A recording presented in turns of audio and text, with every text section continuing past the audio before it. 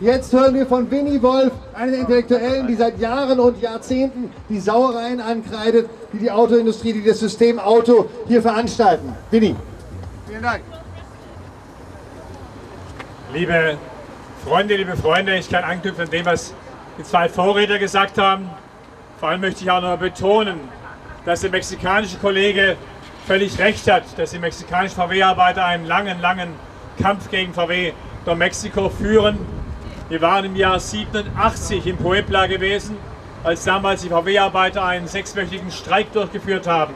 Wir haben damals erreicht, dass in Salzgitter ein einstündiger Solidaritätsstreik, Warnstreik stattgefunden hat, dass daraufhin die Arbeiter in Mexiko diesen Kampf gewonnen haben. Von der gleichen unabhängigen Gewerkschaft, von der der Kollege vorher gesprochen hat. Liebe Freunde, liebe Freunde, wir erleben heute drei Krisen der Mobilität und an allen drei Krisen ist VW zentral beteiligt. Einmal eine Glaubwürdigkeitskrise, die mit dem Begriff Diesel gleich zu tun hat. Zweitens eine Krise der Städte, die mit Feinstaubbelastung und vorgezogenen Tötungen und Tod für Menschen zu tun hat.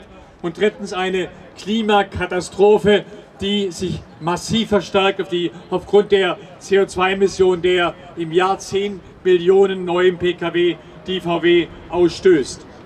All das soll jetzt überbrückt werden, indem VW über Elektromobilität faselt und indem der VW-Boss Herbert Dies flotte Sprüche äußert. Er hat gesagt, er wäre sogar solidarisch mit den Leuten, im Hambacher Forst sich in den Baumhäusern verankern, um den Abriss des Hambacher Forstes zu verhindern. Aber der gleiche Herbert Dies war ehrlicher gewesen, als er am 12. März dieses Jahres eine Rede von Managern gehalten hat, in der er sagte, EBIT macht frei. Herr Dies hat es gesagt in Wolfsburg, Herr Dies hat es gesagt explizit dreimal in seiner Rede. Es war klar, das bezieht sich darauf auf, Arbeit macht frei in Auschwitz.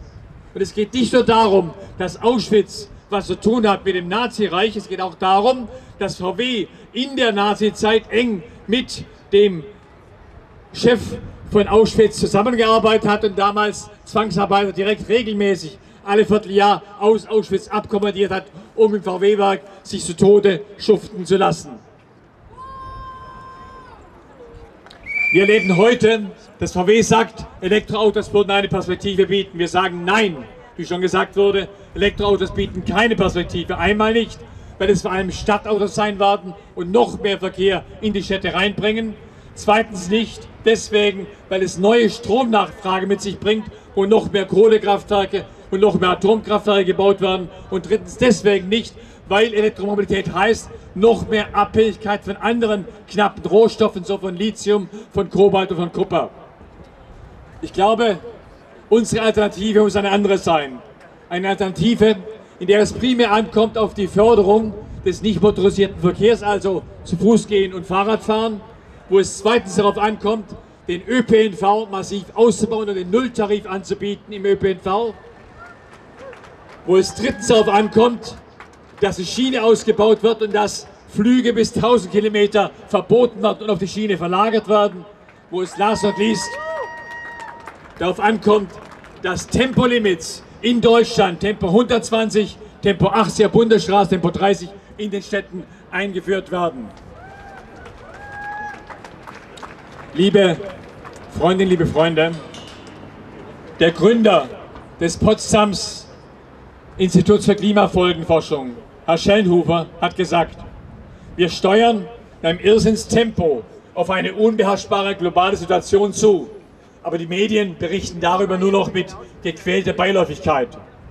Herr Schellenhuber hat auch gesagt, er hat jahrzehntelang geglaubt, die Politik würde eine Änderung erreichen. Er sagt hier heute, sie wird sie nicht erreichen. Wir brauchen eine Weltbürgerbewegung, die diesen Wahnsinn stoppt, sagt dieser bürgerliche Herr Schellenhuber.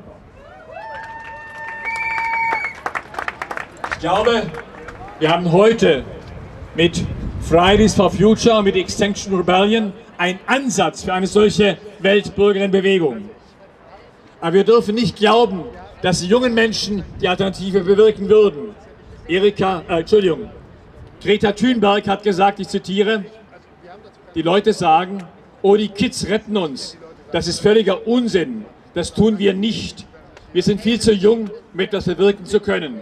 Wir haben nicht mehr die Zeit abzuwarten, bis wir groß und in der Lage sind, Vergleichbares zu bewerkstelligen. Nein, das müssen andere tun. Die Leute, die heute die Macht haben, die müssen das tun. Zitat Ende.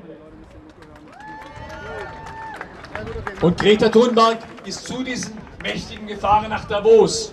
Sie hat da das gesagt, obwohl sie wusste, die werden nichts machen. Das muss mal gesagt werden. Ist gefahren mit der Eisenbahn von Stockholm nach Davos. Wir haben nachgeprüft. Die junge Frau musste fünfmal umsteigen, dreimal in Deutschland. Ihr ahnt, was es bedeutet. Wir haben auch nachgeschaut, im Jahr 71 hätte es einen durchgehenden Zug von der Schweiz bis Kopenhagen gegeben. Solche Zustände können und müssen wiederhergestellt werden. Zum Schluss.